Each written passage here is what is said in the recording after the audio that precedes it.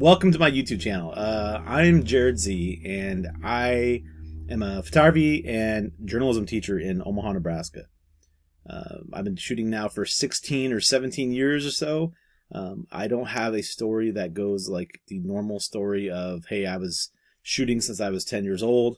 And, you know, my dad put a camera in my hand when I was a baby. And as soon as I was strong enough to carry it, I was taking landscape photos or street photography or something like that. Um, I didn't start teaching or uh, doing photography until I was hired to teach it. So I had to really quickly learn how to do photography. Um, and it was back in the film days. So I was in the dark room all the time, shooting hundreds of rolls of film and just immersed in the whole world. Uh, at first, I was overwhelmed. Um, so I'm able to kind of look back and remember what it felt like to uh, to be in that situation um, when I'm teaching it to to teenagers because back in the day, um, you know, YouTube wasn't a big deal or anything like that. Um, it was kind of a hard space to learn if you didn't have a lot of guidance. Um, now we're lucky that it's so easy to find help, and that's what I wanted to do. Um, get on YouTube and make a channel where I can post some uh, of of what I've learned about photography over the years, um, and and hopefully help some people out, including my students who I'm going to share my channel with, and they're going to be able to check it out what I do, and um, and kind of learn from that. So um, this will be part fun. It'll be part editing. It'll be partly tutorials, um, things that I've I've seen in my photography. You know, there's no shortage of really high quality tutorials out there that I send my students to, and I will continue to. Um, but I think one of the things that I could offer here is the Nebraska and the um, um, you know the Midwest flavor of landscapes and photography around here. Um, that's what I'm really interested in, and uh, I wanted to share that with everyone because Nebraska is a pretty cool place. Um, you might get a lot of flack. You might call it flyover country. You might go right down 80 and not look left or right because you're just like, oh, there's nothing to see. I see a lot, and I think it's a really cool place. Um, I'm going to start this whole thing with talking about uh, iPhones, right? That sounds really ridiculous. Why are you going to talk about an iPhone? But I had a student just two days ago, I think, um, Friday, sorry, um, tell me that they missed some photos because they didn't have a camera with them. Um, and it was outside and uh, there was things going on. They're like, I didn't have a camera, Z. So I was like, Did you do you have a phone? Yes, I have an iPhone X, which I'm like, holy cow, that thing is amazing. Um, and she was like, no, it's, it's, I don't, you know, I needed a big camera. And let me tell you guys, pretty much everyone out there, you don't absolutely need a giant camera, all right? DSLR or mirrorless or whatever you're talking about, full frame, whatever. You don't need any of that stuff to really go out there and have fun with photography.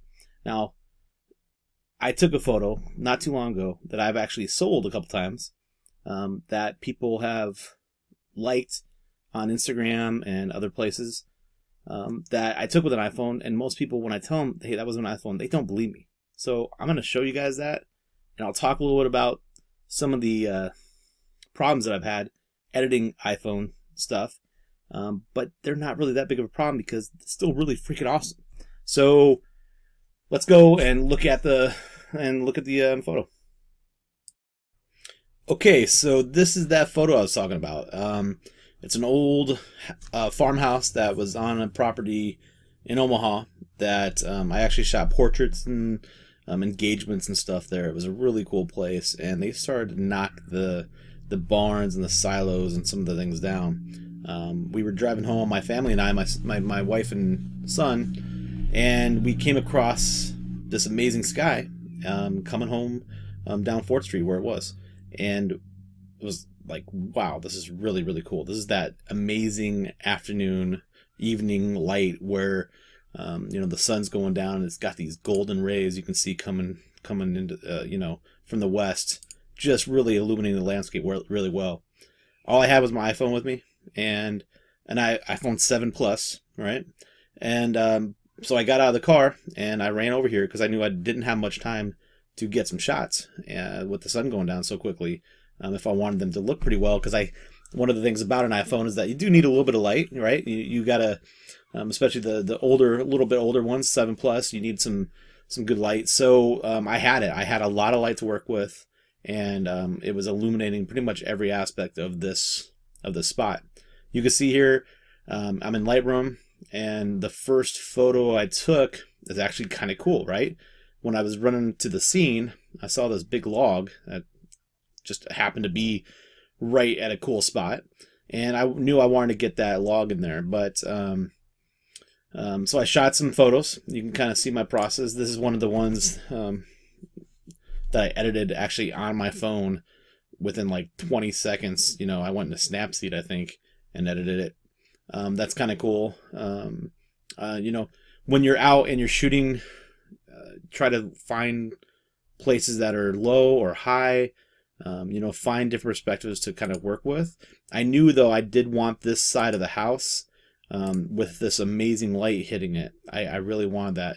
I also knew I wanted to get this log in there to kind of give it perspective. Um, so I was just kind of working with it um, on my iPhone. It's hard sometimes to see, um, to to especially with the light kind of hitting it sometimes to to really see what you're seeing. So I tend to take a lot of photographs. As you can see, I'm shooting. Um, I think these are kind of cool, right? I'm featuring the sky here. Um, I wanted to get that kind of circle movement. Um, if you look right here um, on the top right corner of the screen, and you can go and draw like this curve all the way down into this house. I really like that. I saw that. I was like, this is pretty sweet. But I was missing the, the log there. You could see me standing up, getting down low. Um, I was moving a little bit to get more of the log in there. And I got um, some of the uh, some of the lights still looking good. Um, here's me trying to get more of the sky. Moved a little closer, and I got more of the sky. One of the problems with iPhone stuff is that this farther detail, when it's really got a lot of detail like grass, looks a little fuzzy, right? Uh, it looks almost like a painting. Um, but you have to remember though, when we're looking at stuff like this big, and this is way, way too, I'm, I'm way too zoomed in when I do that. You don't actually, the output is never going to be like that. Most people just post to Instagram, most people just post to Facebook, and they're going to be blown away by this photo right here out of the camera just with an iPhone 7, right? Um, and then if you tweak it a little bit, you can get something like this, which is like pretty cool. That's pretty wow. Um, I did I did not do this in Lightroom. I did this that night uh, on my phone. Um, I think Snapseed is probably the one I use. That's that's the easiest kind of one, and I just enhanced the colors, and um, it looks really really awesome, right? Um, that's out of the camera, and that's with Snapseed. I think I just saved right over the photo. Um, I probably don't have the original. Oh, there it is the original. I do have the original. Um, but that's that's pretty cool, right? Um, not perfect. If you look at the edited one, edited one, um, you know, I get some blown highlights where the the whites are not going to be quite as cool. Uh, but that's okay, especially for Instagram. Um, I don't mind it too much. Um, part of the sky is blown out over here. You can see, um, not a big deal. Uh, I tried some vertical, which is not as cool. I kind of need that sweeping sky, right? Another vertical shot with the featuring the log. Um, going along though, this is the shot that I ended up. That was my favorite. Um, it, probably between that one and that one. Uh, I like this one a lot, but I like the log in this one more. The log really adds something to it. Now the house is a little off kilter. You can go and crop it a little bit. Um, we'll uh, straighten it out. That's better. I like that. The landscape's kind of, it's on like a hill anyway. Um, I don't mind that. I think that's pretty cool. If you look closely, you can see there's just a neighborhood out here. Uh, that's just a regular house. I don't care if it's in there. Nobody's gonna really see that anyway. Um, you can get rid of it, get rid of it if you wanted to, but not a not a big deal. Um, you know, I wanted people to think, oh, this is way out in the country somewhere, and it's really just inside of a neighborhood. Um, and then finally, there's my Instagram crop. Um, I think that's the one I did as soon as I got home. I just used my phone and threw that out there on Instagram. Uh, and uh, once again, taken with iPhone. Most people thought it was with a DSLR, and um, you know, it just wasn't. It's a really cool shot. It's actually one of my favorite shots that I've shot in the last probably three years. Um, just because of that story of it being an iPhone. Um, when you are in Lightroom and you want to edit something like this, you can edit it just like a photo. This is a JPEG.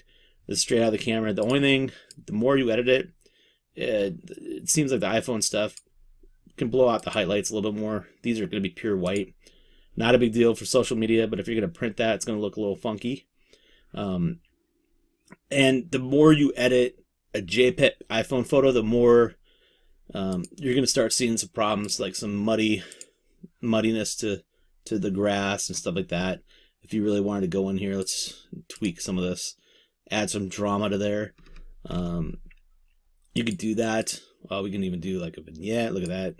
Um, I still need to brighten this section up probably. Uh, we can do that. Um, we can go in here and uh, we can do a selection. Oops, sorry. And uh, go to the adjustment brush, guys. And, and I'm, I'm going pretty fast, and this is not totally, I'm not making this for beginners. We go over this stuff in my class.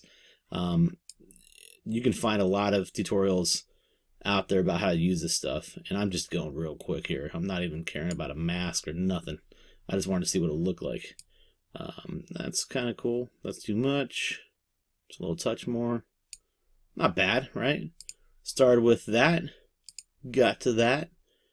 You know, let's let's uh let's save some of the highlights.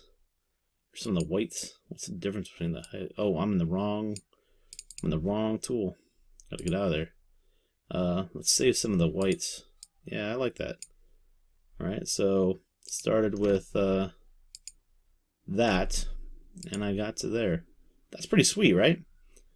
Probably do a, like a graduated filter, maybe. That looks kind of good. And as you can see, I'm working fast. I'm not gonna save this photo or uh, you know print this one. I already got my the one I liked. Eh, pretty cool. Too bright right there. I can lower that down. Um, but anyways, iPhone 7 Plus looks really good. Don't be afraid, people, to get out your phone and take the photos. Just try to remember to move around a little bit and get up and down. You know, I haven't even worked on uh, one of these. Might be something cool. Um, earlier, kind of with uh, it's pretty sweet. You know, I haven't even looked too much into this um, to work on this. I kind of like that. Uh, oh, that's too much. Too muddy. Let's push the... Know, not bad.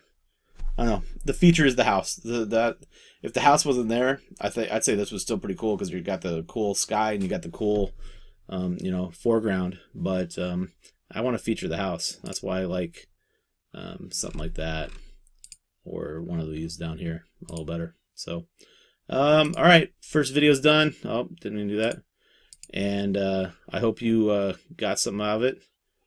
The maps. I don't want to go to maps. Um, and just remember, go out and take photos. Have fun with photography. Don't let people who criticize your photos get you down, but take some of what they say to heart, you know, um, and go for it. If you guys, uh, if anybody has any questions over this and they have video ideas or anything they want to do, like what would you ask? Um, me, if give me some critiques, I don't care. It's all good. Um, you know, do you like this tree, this tree stump over there? I do not know. Keep out. Do you like that stuff? You know, I don't even know what I'm saying at this point. So, uh, thanks a lot, guys.